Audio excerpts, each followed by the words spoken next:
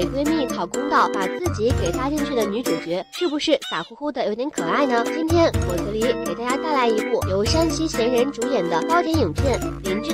小萌在操场上对校草男主山圣表白，因为山圣不晓得跟他表白的是一个叫小萌，但是并不怎么萌的女孩，所以就不给面子的直接拒绝了他。为了帮自己的闺蜜讨公道，女主小葵就来找上了山圣，都没有给自己追求者一个什么的山圣，在看到女主角后就直接来了一个壁咚，简直不要太双标哟！这要让闺蜜小萌看到了，会躲在角落里画个圈圈诅咒的啦。于是小葵就忍受住了美男的诱惑，霸道的给了山圣来了一脚，后果就是大马路上背着一个摔断腿的大男人回家，但是怎么感觉回到了自己家？正当小葵感觉对方校草是个变态时，校草就赶紧给自己正人设，高傲的说：“你可别自恋，可不是为了你。”回到山上家的小葵，心虚的想要做顿饭来弥补自己的过错，却不想厨艺还不到家，到了厨房，引发了自动灭火系统，整个家都糟蹋了。山圣就这样理气壮的搬到了旁边小葵的家。山圣的朋友助攻男这时候来找山圣，小葵为了不被误会，说要回家，就跑出了门。不料外面正在下雨，小葵只好跑到温暖的男二那儿避避雨。看到如此弱不禁风的小葵，男二就给小葵披了件自己的衣服。而山上回来看到披着男的外套的小葵，一脸不爽。在下雨打雷的晚上，小葵害怕的躲成了筛子。山上这时突然男友力爆发，小气巴拉的伸了一只手过来，给小葵抱着，给了他那么一丢丢安全感。两人在房东阿姨那儿拿了两张游乐园的门票后，山胜就以教小葵约会这种烂借口，陪着小葵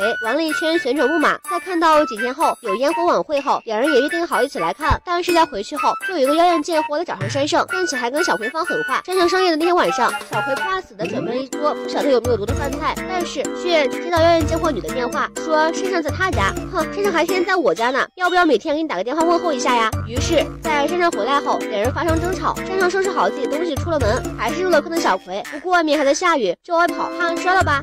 狼狈的小葵浪漫的来了个熊抱后，祈求山圣别走。但是山圣好不孝的拿着包甩手就离开了。伤心的小葵跟万年温暖的男二来到了烟火的晚会，却在要亲亲抱抱的时候，看见女主一脸麻木就懂事的走了。另一边的山圣也被助攻男一拳打醒，妖艳贱货也被哥哥给收走。清醒的他终于找到小葵，两人终于确立了关系。影片到这儿就结束了。各位小伙伴们学到了没？要时不时来个跌倒。下雨天不仅不能打伞，还要自己学会抖成个筛子。最最重要的是，还要有个备胎给他吃醋，还会有一个把把王本期视频到此结束了，我们下期再见。